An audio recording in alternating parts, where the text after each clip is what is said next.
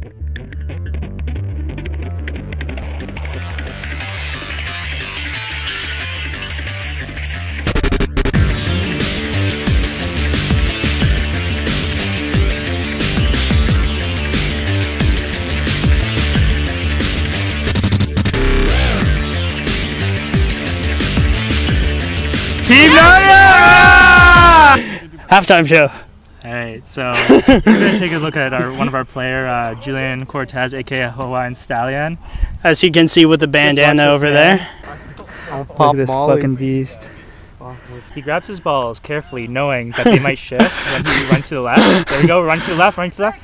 Oh, he got it, he got it, he calls the play. He calls the play. Oh yeah! Yeah.